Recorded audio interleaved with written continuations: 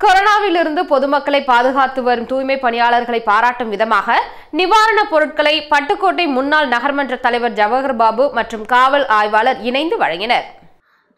ஊரடங்கு உத்தரவு அமலில் உள்ள நிலையில் கொரோனாவிலிருந்து பொதுமக்களை பாதுகாத்து வரும் தூய்மை பணியாளர்களை பாராட்டும் விதமாக நிவாரணப் பொருட்களை பட்டுக்கோட்டை முன்னாள் நகர்மன்ற தலைவர் ஜவஹர் பாபு மற்றும் காவல் ஆய்வாளர் வழங்கினர்.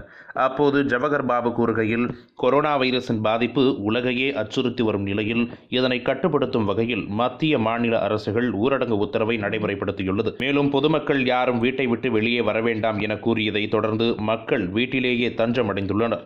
இந்நிலையில் காவல்துறையினரும் மருத்துவத்துறையினரும் தூய்மை பணியாளர்கள் தங்களது பணிகளை மிகவும் அர்ப்பணிப்புடன் செயலாற்றி வருகின்றனர்.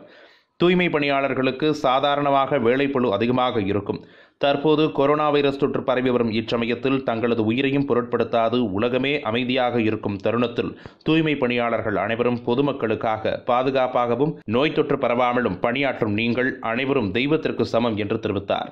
எப்போதுமே சாதாரணமாக உங்களுடைய வேலைப்பணி என்பது கூட நான் எப்போதுமே மற்றவர்கள்லாம் வரும்போது உங்களை பார்ப்பேன் பண்ணுறதுங்கிற ஒரு புறம் இருந்தாலும் அப்போ இருந்த வேலைகள் வேறு இப்போ இருக்க வேலைகள் வேறு. வேலைப்பணு என்பது உங்களுக்கு மிக மிக சிரமமானது தான் இந்த நேரத்தில் உங்களுடைய உயிரை கூட பொருட்படுத்தாது. இன்னைக்கு உலகமே அடங்கி கிடக்கிற ஒரு நேரத்தில் நீங்கள்லாம் வேலை பார்க்குறது என்பது நீங்கள்லாம் தெய்வத்துக்கு சமம். அந்த அளவுக்கு இன்றைக்கி சாரெல்லாம் மணிக்கு நின்றுட்டு அவங்களுடைய வேலைகளை மிகவும் துரிதமாக அறம் தொலைக்காட்சி நிகழ்ச்சிகளை தெரிந்து கொள்ள யூடியூப் சேனலை சப்ஸ்கிரைப் பண்ணுங்க. அண்ட் மறக்காம பெல் பட்டனை கிளிக் பண்ணுங்க. அறம் தொலைக்காட்சியை மொபைலில் பார்ப்பதற்கு கூகுள் பிளே ஸ்டோருக்கு சென்று அறம் ஆப்பை டவுன்லோட் பண்ணுங்க.